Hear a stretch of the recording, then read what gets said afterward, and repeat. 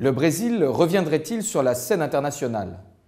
Dans la continuité du sommet du G20, les dirigeants des pays des BRICS, qui regroupent le Brésil, la Russie, l'Inde, la Chine et l'Afrique du Sud, se sont réunis à Goa, en Inde.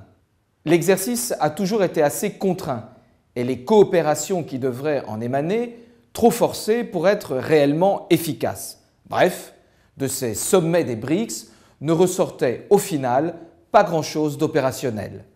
Chacun de ces pays, assez protectionniste, voulant conquérir les marchés de l'autre sans pour autant faire preuve de grande ouverture économique à l'égard de ses mêmes partenaires et non moins concurrents.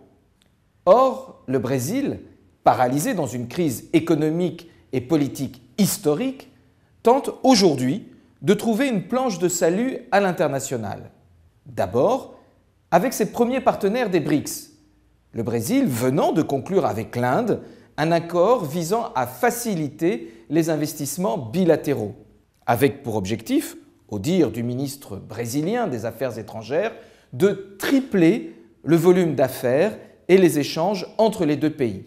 Ensuite, le Brésil tente de redonner de la voix dans le dialogue multilatéral en ayant fait réouvrir à Bruxelles, il y a quelques jours, les négociations Union européenne-Mercosur dans un climat finalement assez optimiste.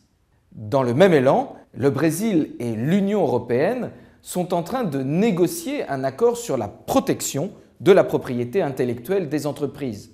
Cela devrait faciliter considérablement l'investissement étranger, notamment au Brésil, par l'établissement de protection des marques et des brevets quasi automatiques.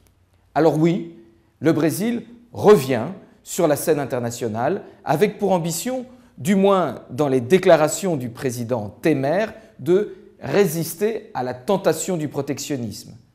À suivre donc avec attention.